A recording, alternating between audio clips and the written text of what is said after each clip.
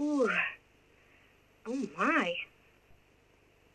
This is the most comfortable chair I have ever sat